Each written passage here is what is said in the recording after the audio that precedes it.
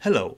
If you have an Oregon Scientific clock like this or similar, for example, this model is an BAR 806 model, but there are models with the same features, and you experiment a problem like the one that you will see on the screen, that I mean that when you put in the batteries it starts correctly, but immediately it hangs and starts flashing, the problem is very probably based on the clock crystal resonator.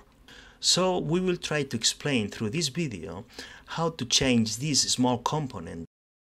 Okay, so let's go to start. We take the Cayman, in this case, as I said before, this is an Oregon Scientific BAR 806 model. So we try to open it and first we thought it was enough if we get access to the two screws that we have on the back side of the box. So we tried to remove these two screws and tried to open the box, but obviously this was not the way and we broke the box. So finally we found that we need to remove, really, we need to remove this front screen and then we will find under the front screen that we have one, two, three and four more screws. So we have a total of six screws that need to be removed. Four screws on the front side and two screws on the back side. I will open the box and then I will show you the inside circuit of the Oregon Scientific.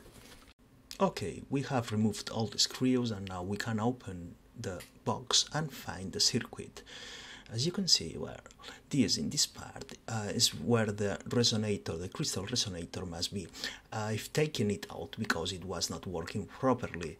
Of course remember that you need to buy a new resonator. In this case is a 32.768 kilohertz resonator. And finally it's time to weld the new component on the circuit as you can see I'm not really very good doing this so I wish that you will do better than me. As I was only testing, I left the legs very long just to test that the circuit works. Okay, let's have a look. So it's time to test it. Let's put the last battery in the Cayman and well, it's resetting and now it shows the time so we can decide that yes, it works. And if I can do it, you can do it better than me. Thank you.